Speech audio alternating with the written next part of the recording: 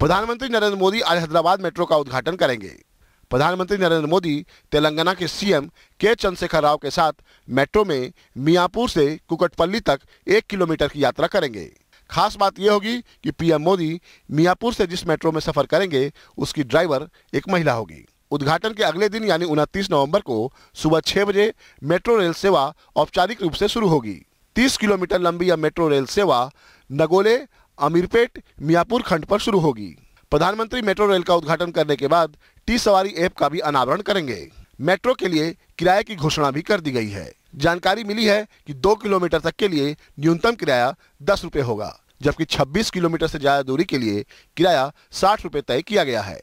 दो से चार किलोमीटर दूरी के लिए किराया पंद्रह रुपए होगा।